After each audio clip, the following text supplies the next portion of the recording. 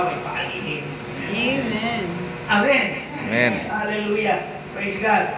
Okay, palagpakan mo natin ito natin kayo mo. Okay, pangatlo, kaya napakahalaga yung seed, buhat. Amen. Huwag ko kayong magbibigay doon sa offering box na masama loob nyo. Kasi ang gusto ng Diyos, masaya ang nagbibigay. Amen. Yung 20, huwag nyo na. 20 na nga lang, nilulukot nyo. Amen. Tupiin nyo na lang. Amen. Kasi kawawaking nagbibilang mo. Hindi na diretso pa. Amen. Amen. Kung magbibigay nyo yun, at gusto nyo lumutin, yung coins. Amen. Hallelujah. Ang punta nyo dito, pa nagbigay yung 20.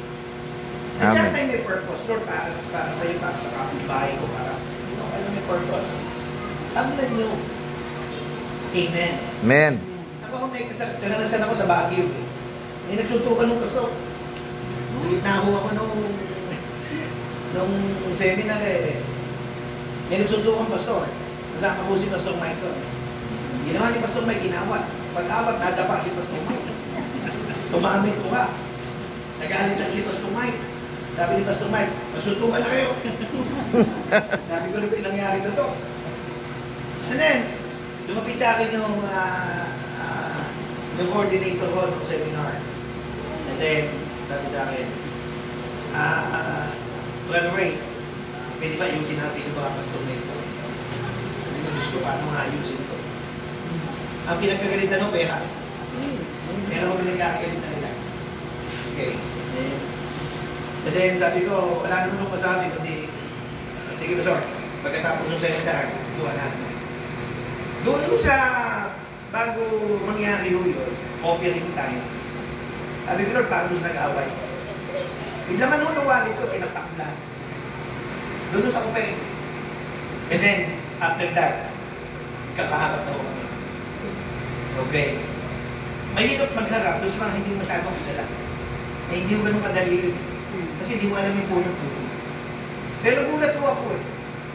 After that, na malitan ng mo Aba, niya niya ako nagyakap eh. Why?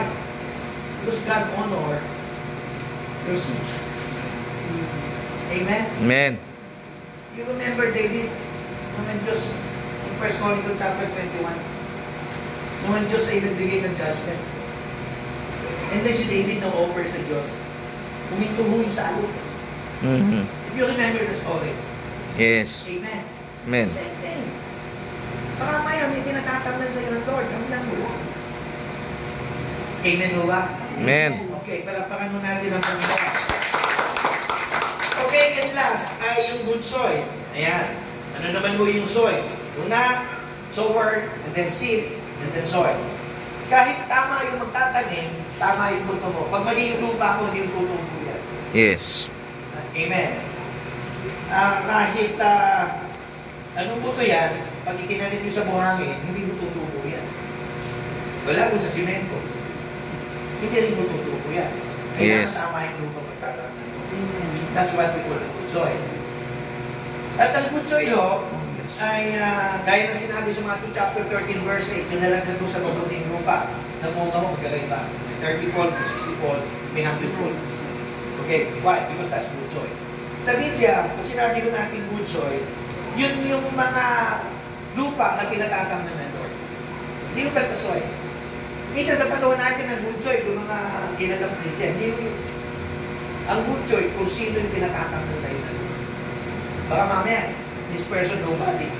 Baka yun ang pinatatamnan ng Lord. Okay.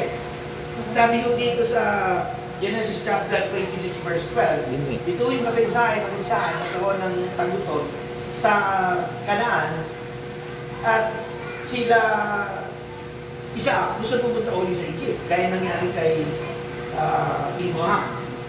Pero sabi ng Lord, mag-aalis dyan. Yung lugar na yun, sa Gerar, dry land doon. Pero sabi ng Lord, no, yan ka magtanim. Paano mo tatanam yung dry land? Mhm. Amen. Dry land tatanggal mo. Pero sumunod doon si Isaac, At alam mo natin kung ano inaani ni Hamilton. Why? Kasi tama yung lupa.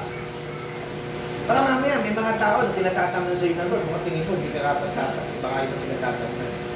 Minsan nga ako, may tinamnan ako, taga-dating daan eh. Binabless sa akin na taga-dating daan eh. Sipin niyo, pinagpay ko nag-thumbs. Hmm. Sabi ko taga-dating daan. Gusto, hindi ko alam, may nangyayari sa akin. Ano ba ako nangyayari sa akin? Ano nangyayari sa iyo? Yung bibig ko parang gusto bumuka. Sabi ko, buka mo. Baka may laman. Hindi, hindi ho ganun eh. Basta ako, just ko. Yan ang tatang siya. Tatindaan mo yun. Amen.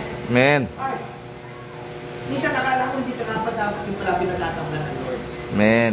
Amen. That's the good soil. At sa panahon natin, ano ba yung mga good soil? Yung sa good soil, of course, the church. The church. Good soil yung church. Yung binibigay nyo, na binibigay nyo sa church, mataban lupa ako ang church. Because ang church na nag-represent sa Diyos dito sa lupa. Amen. Amen.